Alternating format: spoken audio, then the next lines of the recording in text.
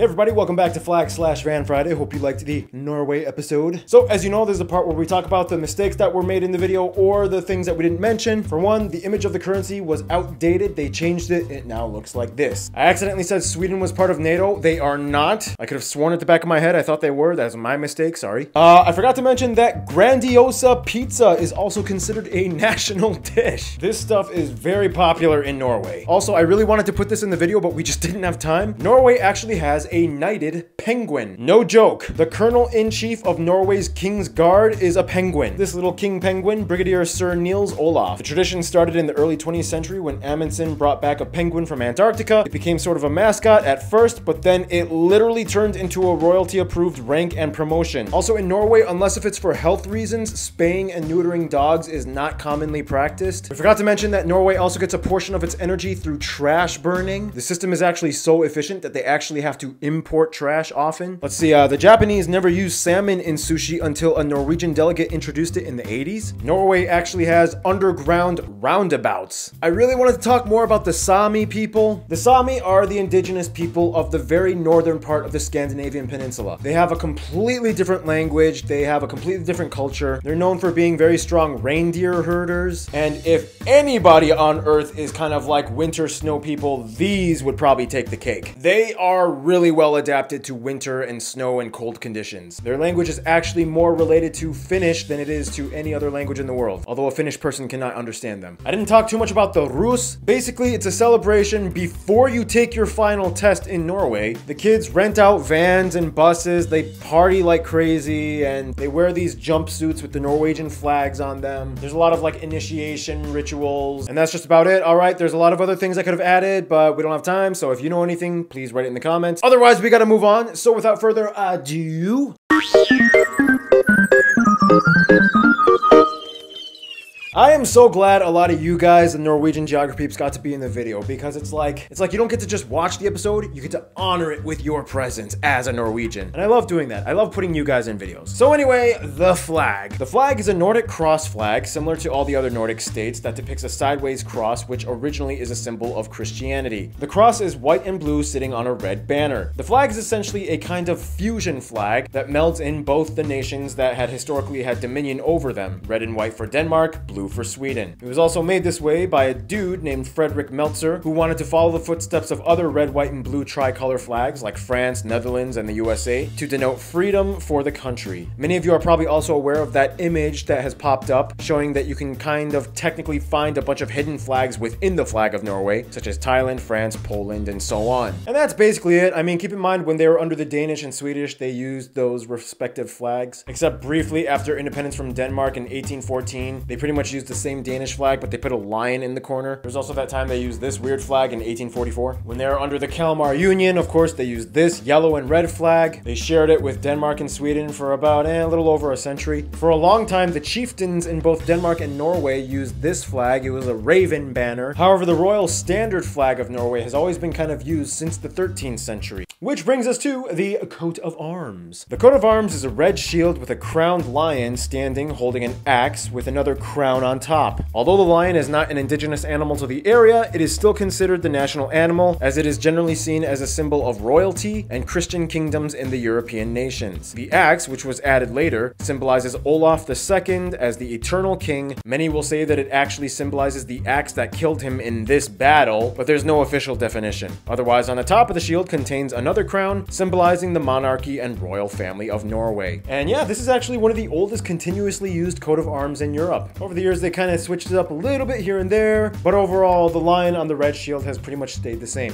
So yeah, that is pretty much it. Easy. So that means you know what time it is. It's time for Geogra fan mail time. Hey everybody. All right, so we are here back in the studio for Fan Friday, and uh, we're gonna have some guest stars as we always usually do. Come on in, Mr. Keith and Mrs. Hannah. That's right, Mrs. Hannah. She is married. I am married. So, as you guys know, we always start off with postcards. And uh, today, Ryan is helping us out with uh, postcards. I think your name is Suraya uh, from India. India. Andrew, he is from Oklahoma City, but he visited Hong Kong. Hong Hong Kong. Chris from South Carolina is from Montreal. Montreal.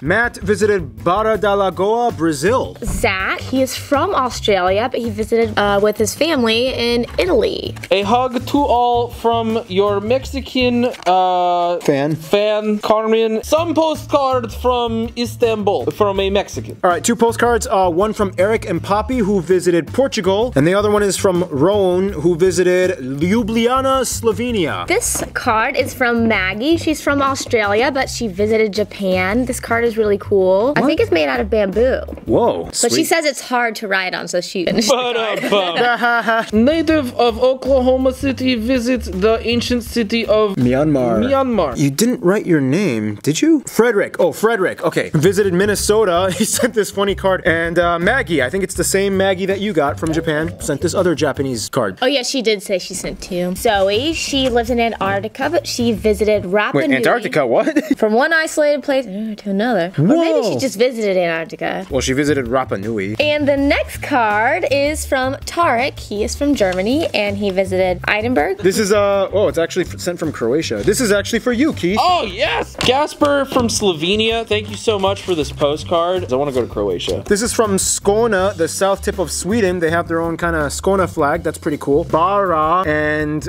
Luken Gulshat. This is from the DMZ, the border between North and South Korea. We have three postcards from Chris for me. One for Hannah. Thank you. It's for me from the Netherlands. Yeah. Awesome. Thank you.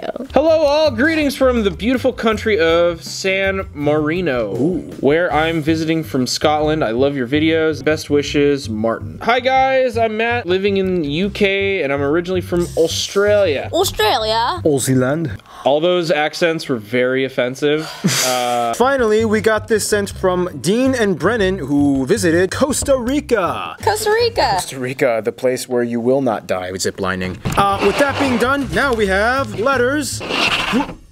Hey Bars, my name is Neil. Uh, I'm from Melbourne, Australia. I would like to invite you and your friends to an Indian function called World Goa Day. This is from Robert. He sent us a bunch of stuff from Ontario. And oh, he sent us this comic book because he went to Comic Con in Canada and thinks it's a good idea for us to draw a comic book of Geography Now. So one of you guys should do that. Can any of you draw a comic style for us on Geography Now? I don't know. Make us superheroes. make me an anime character. What kind of superpower would you have if you were a superpower uh, superhero? Ooh, I want to fly. Oh, super strength because I'm small. And then I just like, you'd have no idea. And I'd, I'd be opening cans of jelly. If I could be any Marvel character, I would probably want to be Thor, I guess. Like the new Endgame Thor, like the fat Thor. so basically, this dude, Jonathan, sent us some coins from Germany. So this is pre-EU. He also sent this picture of Paul Oh, or. Barb's. Okay, great. This is from Nigeria. It is from Patrick, and he sent each one of us here at Geography Now a different postcard from Nigeria. All right, so we got this here guy from Canada. His name is Brendan. S- Sent us this here five cent Canadian tire uh, thing here, eh? Oh, just what I always wanted, eh? And you know, maybe next time you could send some hockey sticks, eh? And you know, we could go play some hockey out in the cold. This gives you 10% off if you get your tires done at Canadian Tire. Okay, this is really cool. This is sent from Ruth, who wrote this book about North Korea, and she said she put she mentions Geography Now in the book twice. Cool. On page 46, she says, Korean spoken in North is purer than the South, says Paul Barbie in the North Korea video in his YouTube series Geography Now. You remember from the episode! Congratulations. That's Congratulations. huge. Yes. Check this book out North Korea in 100 Facts by Ruth Ann Monti. This letter is from Allison from Nevada. She loves Panama and she's so excited, she says, for the Panama episode. She even drew a map. It's actually really well drawn. And a flag. Wrote some facts about Panama actually on here for us. So maybe we'll put some of that in the episode. We probably will. All right, so Patrick sends us this amazing community safety guide. So, Patrick works in security consulting. If you are in a category 5 hurricane, a 5.0, oh wait, no, what's the biggest one on a Richter scale for earthquakes? Doesn't matter. It's like nine. I don't know. You're dead. You will probably need this book. Thank you, thank you, Patrick. You know what's weird? I'm not an actor, but I've always wanted to do uh, industrials. Have you ever done an industrial, Hannah? No. It's like the employee training videos. Oh, yeah. The really crappy ones, like when you get hired at Walmart. It's really cheesy. We're here to give you the tools you'll need to ensure quality customer service. Wow, that was really good. You'd be great at it. I've always wanted to do an industrial. Uh, I got two letters. One, they're both kind of like written in French. Uh, one is from Jacob. Uh, J'ai écrit cela en français, pourquoi pas? En fait, je parle assez couramment espagnol parce que mon père voyageait assez souvent au Mexique. So your dad went to Mexico. Why are you writing in French though? I don't get it. But anyway, uh, he sends these Mexican coins. And um, the other one, bonjour. Oh, your name is also Paul. This is really cool. You come from the Brittany region of France. Looks like the American flag. And uh, he also sent this 20 franc banknote. That's pretty cool. This, this is the money they used before they joined the euro. And uh, Keith, um, would you like to do the honors? Oh, sure, I'll open up the box. I love opening up boxes. Oh, basically alcohol. Is this the guy who's giving us alcohol? His name is Jordan. So yeah. Yes. Uh, hey, thank Canada. you, Jordan from Canada. eh? Dear Barb's and the rest of the GN crew, my name is Jordan. I haven't been a, I've been a fan of your channel for a long time now. I've included some Canadian specialties in your package. The maple syrup is from Roots, a well-known Canadian clothing retailer. Crown Royal whiskey is perhaps the most well-known and wildly sold Canadian whiskey. I like it mixed with ginger ale. Lastly, I've included two small bottles of Inniskillin. Inniskillin? Inniskillin ice wine. Ice wine is created by using grapes that have frozen on the vines, so Canada is an ideal place to make ice wine. Ice wine. And this, thanks for making a show that is interesting, educational, and funny. Keep up the good work. well, Hannah, you're more of the wine person. Would you I like? am. Would I'm you gonna like? take that. You want some ice wine? Yes, I want the ice wine. How about you take this for you and Ian? Yes. So I think you guys would love this. By the way, uh, Geography Now does not endorse underage drinking. If you are underage, do not drink. We are of age though, so we can drink. So haha. All right. Uh, and gentlemen. so I believe that is it. But before we go, uh, you know how we always end this with. Return address contest! Woo!